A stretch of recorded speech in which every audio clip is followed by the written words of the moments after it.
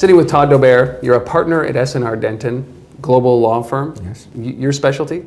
Mobile services, technology. So, uh, you know, we hear a lot about mobile commerce. We certainly hear a lot about uh, trust in mobile commerce and mobile transactions. Uh, what's the perception of trust out there right now?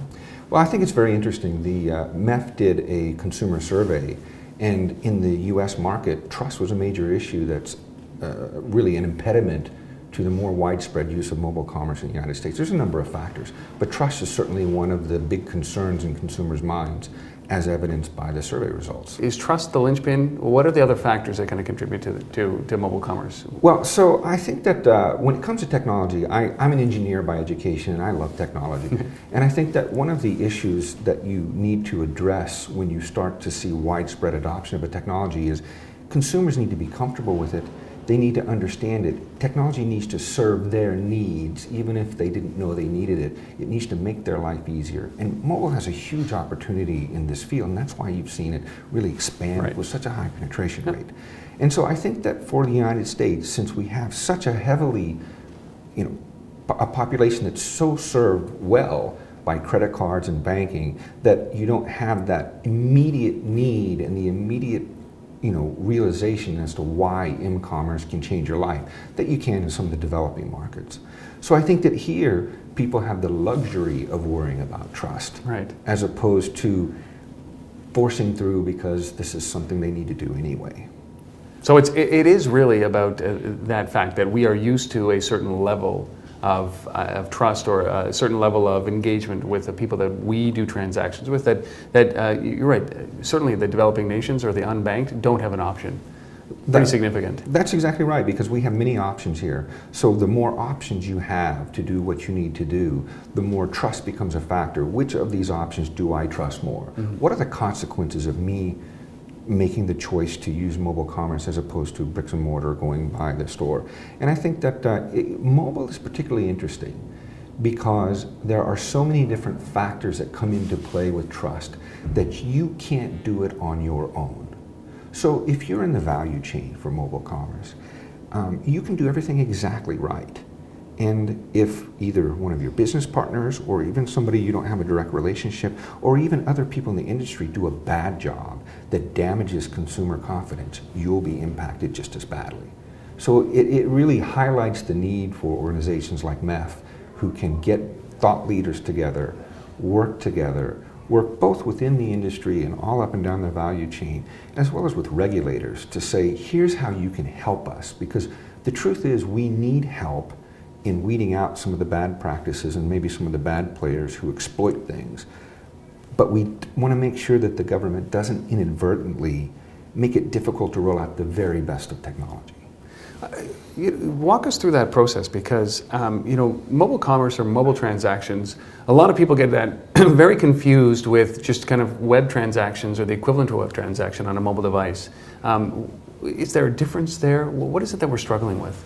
Well, I think that uh, people, frankly, are um, more comfortable with the desktop. They, it's been around longer. They understand it. They, they tend to use it. Well, actually, they probably don't understand it because They accept it, they accept it. right?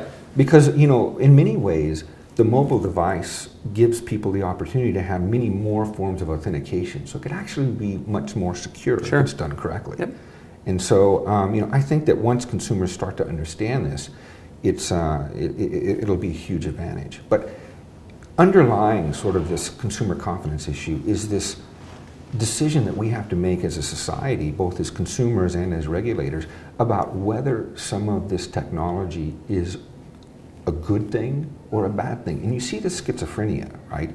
On the one hand, the very best in services and the very best in technology that we can offer depends fundamentally on person specific information, location specific information, tailoring the technology to do what you want it to do even better than it could for anybody else. Right. Right?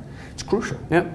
On the other hand, you've got this deep concern that either the government or certain companies are out to get you know you or misuse the information they can get about you. You know, people are tracking me.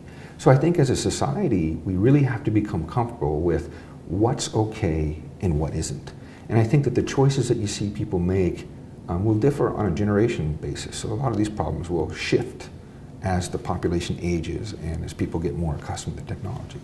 Everybody has a price for convenience or for a discount. You know, it's crazy what people are doing today for, uh, you know, stamping their location for a discount at a store. And is that the instance here? Is it? Is it? How do you approach this concern over privacy and uh, and trust? With, with an average consumer, you know, are we going to see this being rolled out very systematically that, listen, I trust Sears or I trust Starbucks or Macy's, so I'm going to give my trust to them? Or is it going to be a broader play where it's, listen, I trust Visa, I trust the credit card companies, that, and uh, they have my back? Um, or is it, is it really going to be, you know what, I, I, I have complete faith, I'm a technologist, and I have complete faith that you're not going to mistrust or misuse my information. How does, this, uh, how does this roll out? Well, so I think there's really, there's really two aspects to that. One is um, consumers need to reach a point where consumers actually don't understand the true risks in technology. The things that they tend to worry about the most often are the least risky yeah. things.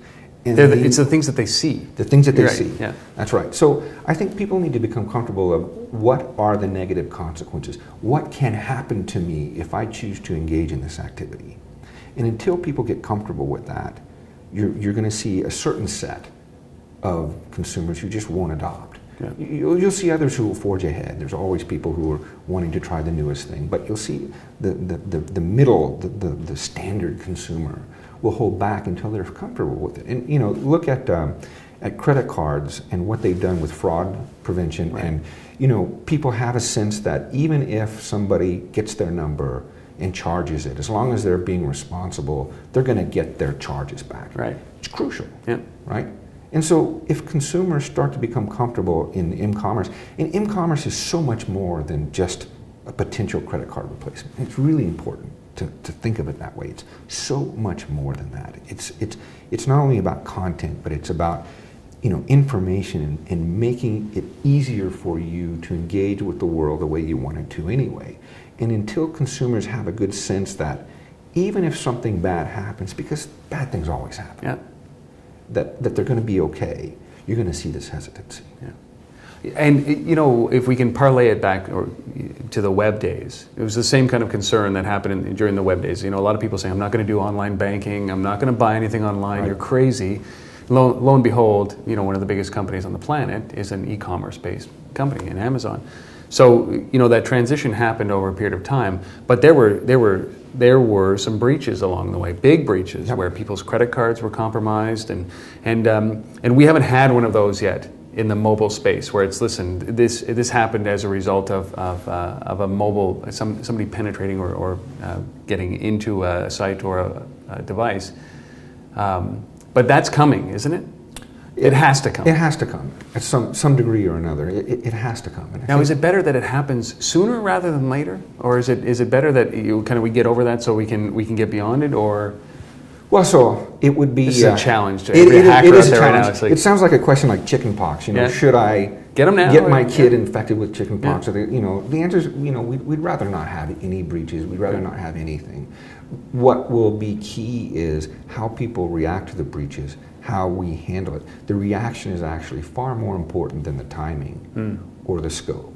And I think that it's really important that um, you know, it's very difficult for regulators to keep up with technology. And I think it's important for us as an industry, for everybody along the value chain, to sort of bring the government along with us as we go so that you don't wait until the end when you need something yeah. and then you're trying to go in and say give me this because right. of x and they haven't understood where you're going because i think that very good intentions can actually block some of the best technological advances. Sure. And, you know, one of the examples I think of is VoIP, is uh, you know nomadic VoIP services, voice over internet protocol, and um, you know those services had the capacity to fundamentally change the way we communicate, and the FCC, with, with the best of intentions, required there to be 911 services right. associated with it. Yeah.